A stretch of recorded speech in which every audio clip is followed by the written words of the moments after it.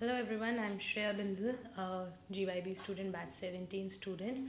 My venture is a chemical unit, Samrat Chemicals. I have been associated with this SPJ and GYB course from the past seven weeks and it has turned out to be a very good course as a personal motivator and has taught us in many aspects as an entrepreneur. You need to know the financial aspects, the accounting, the marketing, the sales, and everything.